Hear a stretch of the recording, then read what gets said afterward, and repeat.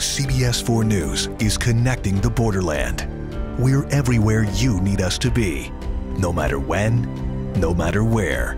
Watch us live or stream us online at cbs4local.com. Stay connected on social and on mobile.